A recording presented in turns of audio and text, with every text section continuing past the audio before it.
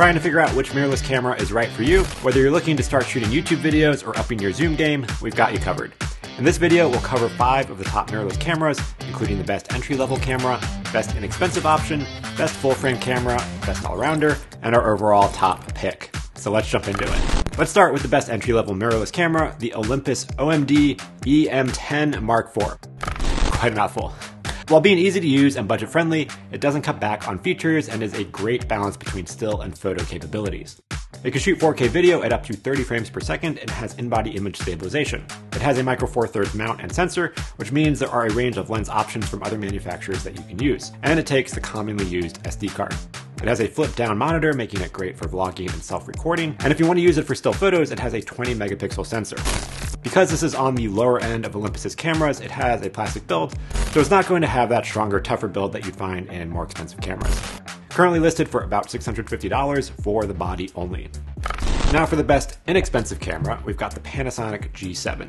This comes in at just under $500, lens included. And I say lens included because besides being the least expensive camera on our list, it is not a fixed lens camera. It has a micro four thirds mount, so you can use a variety of lenses, same as the Olympus. It can shoot 4K video, has a very maneuverable flip out screen, and takes easily available SD cards. Panasonic is great for adding video features to their still cameras, and despite its low price, the G7 has a microphone port to connect to an external mic for higher quality sound. It has decent autofocus as well as focus peaking, which outlines which parts of your image is in focus, another useful feature seen on video cameras. Now, since it's at a lower price, the sensor isn't as high quality as other cameras here, It caps out with the ability to take 16 megapixel photos. But still, for less than $500, it's an excellent camera. Plus, if you're looking to improve your zoom setup, you can plug the camera directly into your computer via USB and it will be recognized as a webcam. No adapters required. If you're enjoying this camera roundup and want more videos like this, including how-tos and insight on how to put that camera to use, be sure to subscribe.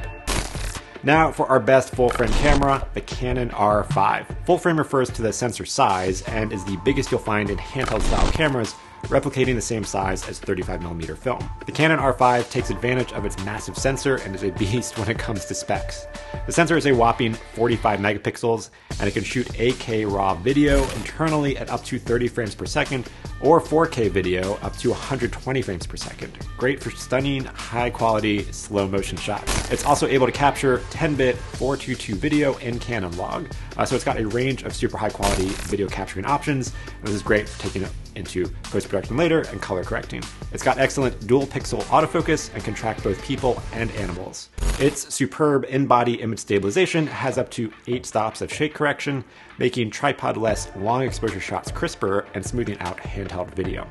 It has dual CF Express card slots plus an SD card slot, but for most of the high res videos, you'll have to use CF Express cards, which are a bit more expensive than SD cards. This impressive video quality doesn't come cheap. The R5 is currently listed at $3,900 body only. Sony's got two excellent options for mirrorless cameras, the a6600 and the more expensive a7S III, which has a bigger sensor. But the a6600 is more than capable of being an excellent all-around mirrorless camera. It can shoot 4K video on its APS-C sensor with no recording limits and has excellent and fast autofocusing. It also has the ability to shoot in log, which opens up more color options after editing your video.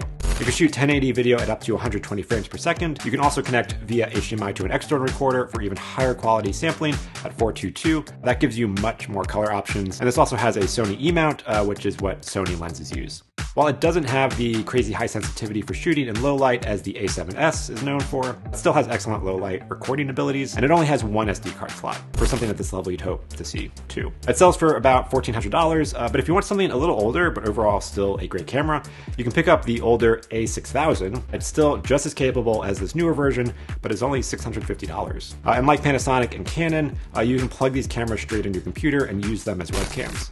The Sonys are particularly good at webcam and vlogging use because they have excellent facial recognition for autofocus, making self-recording with crisp shots a lot easier. And last, but certainly not least, our top pick, the Panasonic GH5S. Now this is still a micro four thirds sensor, so it's not as big of a sensor as some of the other cameras on our list, but Panasonic has consistently pushed the game with features you normally find in video cameras that make this a fantastic overall camera for both video and stills.